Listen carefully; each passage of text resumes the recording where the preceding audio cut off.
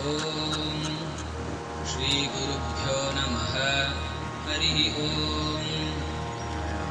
ॐ गणानान् त्वा गणपतिगुं हवामहे कविम् कवीनामुपमश्रवस्तमम् ज्येष्ठराजम् ब्रह्मणाम् ब्रह्मणस्पद आनः शृण्वन्नोदधसीदसादनम् महागणपतये नमः शञ्च मे मयश्च मे प्रियञ्च मे नु कामश्च मे कामश्च मे सौमनसश्च मे भद्रञ्च मे श्रेयश्च मे वस्त्यश्च मे यशश्च मे भगश्च मे द्रविणञ्च मे यन्ता च मे धर्ता च मे क्षेमश्च मे धृतिश्च मे विश्वञ्च मे महश्च मे संविच्च मे ज्ञात्रञ्च मे सूश्च मे प्रसूश्च मे सीरञ्च मे लयश्च मरुतञ्च मे मृतञ्च मे यक्ष्मञ्च च मे नामयच्च मे जीवातुश्च मे दीर्घायुत्वञ्च मे नमित्तञ्च मे भयञ्च मे सुगञ्च मे शयनञ्च मे सूषा च मे सुदिनञ्च मे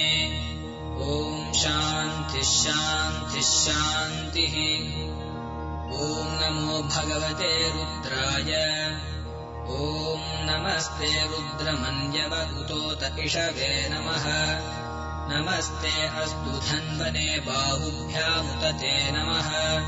यात इषुः शिवतमा शिवम् बभूवते धनुः। शिवाशरुद्यायातवतया नो रुद्रमृडय। याते रुद्रशिवा तनूरघोरा पापकाशिनी। तया नस्तनुवाशन्तमया गिरिशन्ताभिचाकशीः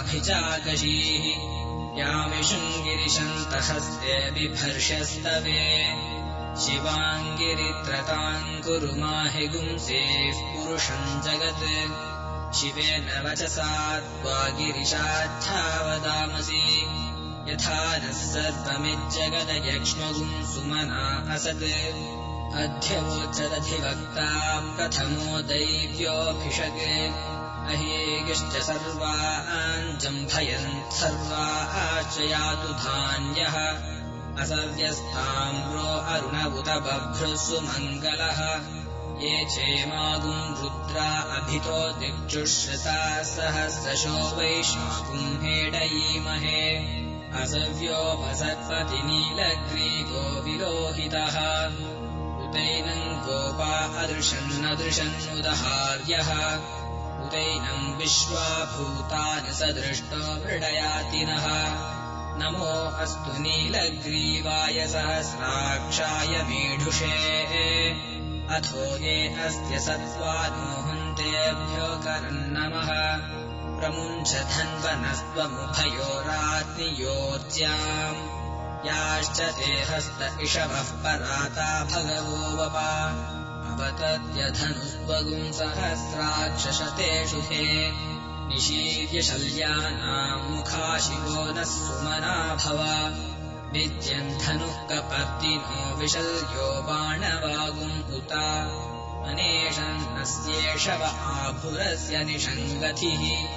याते हेतिर्मीढुष्टमहस्ते बभूवते धनुः। तयास्मान् विश्वतस्त्वमयक्ष्मया परिभुजा नमस्ते अस्त्वायुधायानातताय धृष्णवे उभाभ्यामुतते नमो बाहुभ्याम् तव धन्वने परिते धन्वनो हेतिरस्मान् वृणक्तु विश्वतः।